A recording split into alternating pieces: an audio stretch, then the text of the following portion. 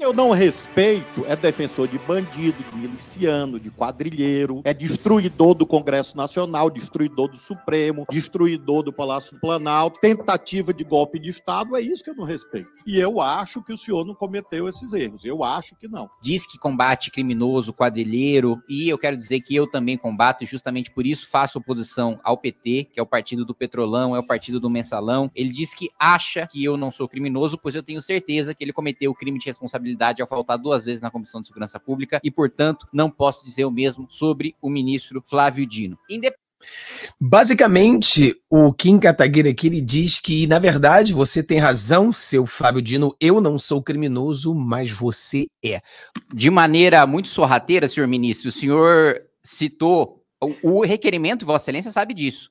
Trata do da comparação do orçamento deste ano para o ano que vem que foi or o orçamento que Vossa Excelência referiu no início da exposição de Vossa Excelência.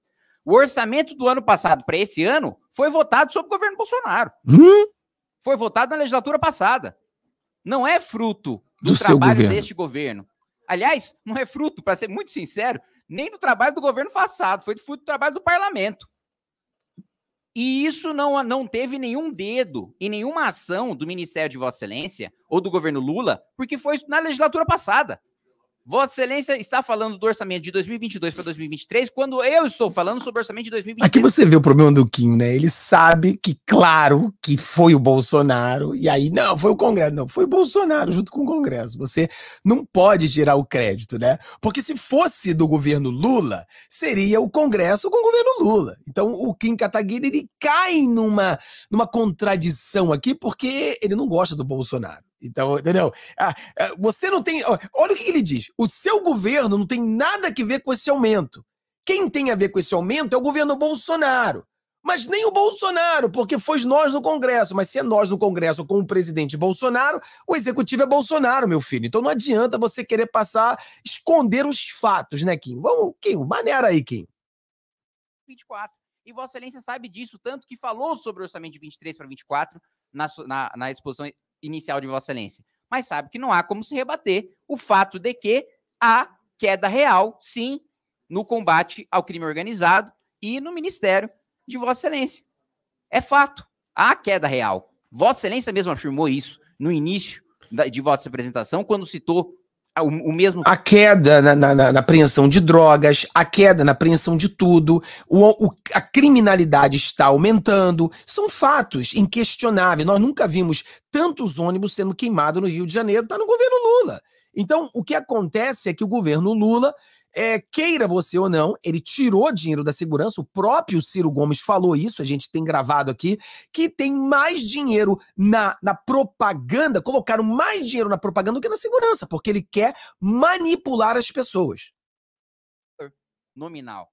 Para além disso, é, senhor ministro, é importante ressaltar que Vossa Excelência reforça o discurso de que a direita odeia pobres e por aí vai, quando o governo de Vossa Excelência impõe uma taxa sobre compras de mais pobres em 92%, enquanto ministros do governo acumulam cargos e têm super salários de mais de 72 mil reais por mês. Aí fica fácil dizer que é a direita que odeia pobre, quando você, na realidade, está institucionalmente saqueando o bolso do mais pobre nas compras que eles fazem online, enquanto ministros do governo acumulam ilegalmente super salários. Eu, inclusive, já ingressei com ações e obtive liminares, afastando membros do governo que hoje recebem super salários acima do teto. É uma questão de concepção. Eu respeito todas as concepções. O que eu não respeito é defensor de bandido, de miliciano, de quadrilheiro, é destruidor do Congresso Nacional, destruidor do Supremo, destruidor do Palácio do Planalto, tentativa de golpe de Estado, é isso que eu não respeito.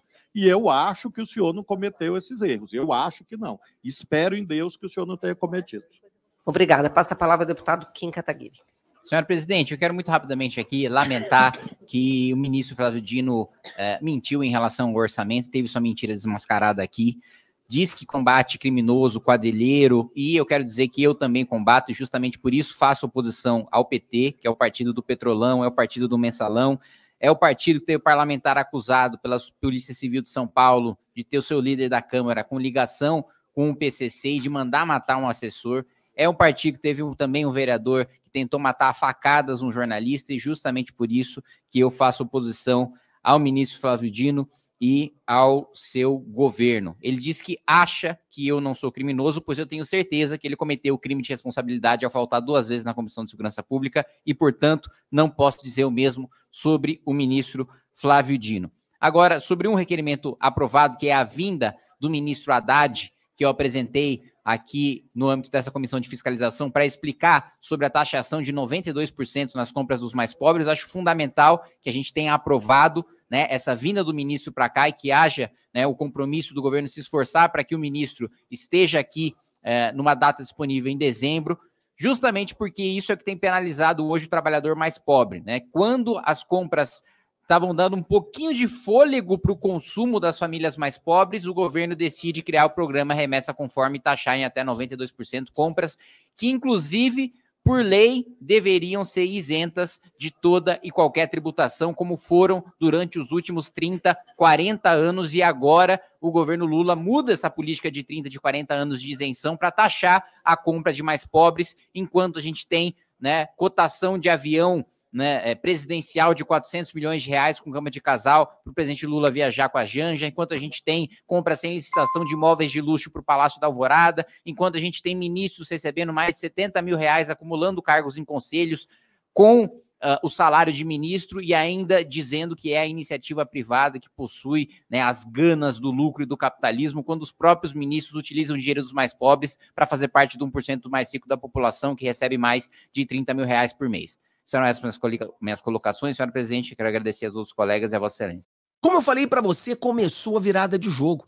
Aqui está o Kim, aqui está os nossos deputados mostrando para todo mundo quem o Dino é. E nós temos que continuar fazendo isso. É como eu falo para vocês, eu falei para você que o Lula, o Dino, a esquerda é tipo o Neymar jogando futebol. O cara cai e se levanta, cai, se levanta, cai, se levanta. Nós precisamos continuar mostrando para todo o povo quem ele é. Agora mesmo o Senado negou uma indicação do Lula. Então isso pode fortificar. Por isso que a matéria está dizendo que agora o governo pode ter medo de indicar o Dino por ter medo dele não ser sabatinado. Ou seja, vamos trabalhar. Fábio, então quer dizer que o Dino não será sabatinado? Já era? Não.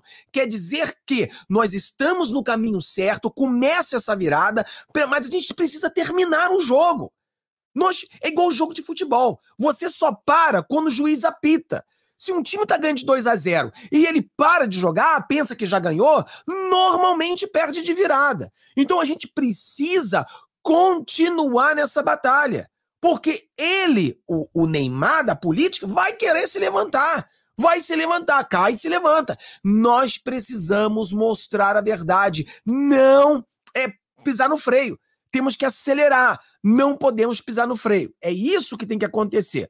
Vamos aqui agora fazer um giro de notícia aqui e depois a gente termina. Não esqueça de dar o seu joinha e participar, né? Governo está com medo de indicar Dino ao STF após a derrota no Senado. Como expliquei para você, a derrota do Senado foi que o Lula tinha escolhido alguém e, e, foi negado no Senado. Então aqui já deu força. E agora que o Dino começa a fazer esse monte de cagada, quando a gente vê a pressão sobre o Dino, a gente vê pedidos de impeachment que tem que ser levantado contra o Dino por ter cometido crime de responsabilidade. Por isso que não podemos pisar no freio. Vamos lá.